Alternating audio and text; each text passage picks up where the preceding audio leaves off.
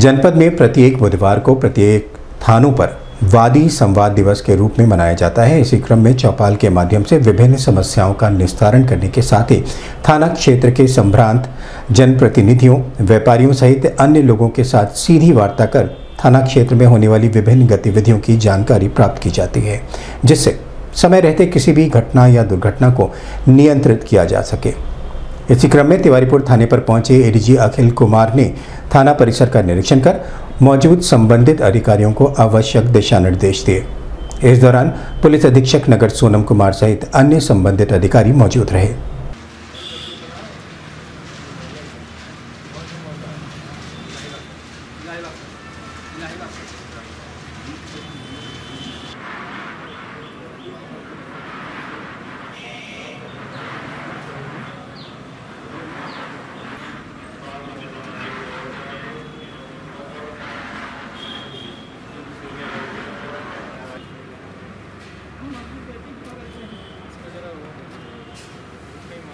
घर में रहती हो ना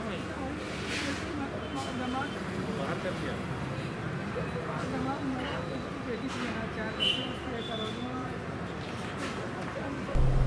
इस संबंध में मीडिया कर्मियों से बात करते हुए एडीजी अखिल कुमार ने बताया। आज गोरखपुर जोन के अंतर्गत, विशेष रूप से गोरखपुर के अंतर्गत, हर एक बुधवार को वादी संवाद दिवस के रूप में मनाया जाता है, जिसमें चौपाल लगा के जितने भी हमारे शिकायतकर्ता हैं, विशेष रूप से जो विभिन्न मुकदमों के जो वादी हैं, उनको बुलाया जाता है।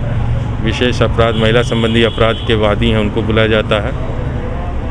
उस संबंध, संदर्भ में भी कैसी कार्रवाई हो रही है, उसको देखने के लिए यहाँ आए थे। उस संबंध में वार्ता की गई है, कुछ सुझाव दिए हैं थाना स्तर पर कि अपने कार्य प्रणाली में और कैसे हम इस इस कार्यक्रम को जिसका मुख्य उद्देश्य है कि जो लोग थाने पे आ रहे हैं उनका सेटिस्फैक्शन लेवल बढ़े उनका डिस्पोजल न्यायिक वैधानिक रूप से त्वरित ढंग से कर सकें। उस इस प्रक्रिया को हम कैसे और कारगर बना सकते हैं उसकी समीक्षा करने और देखने के लिए आए थे।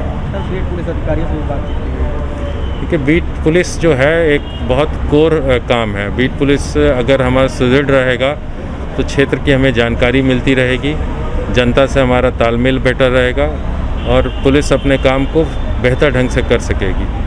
और जहाँ यह वीक रहेगा, वहाँ पे जनता से कनेक्ट नहीं रहेगी और एक गैप बना रहेगा। उसी संदर्भ में सभी जो दो तीन बीट पुलिस ऑफिसर्स हैं, उनके द्वारा सब लोगों को व्हाट्सएप ग्रुप बनाने के लिए भी कहा गया था अपने क्षेत्र में। वो एक ऐसा काम किया गया है। अभी बहुत सारा काम शहरी क्षेत्र में मुझे लगता है कि करना है।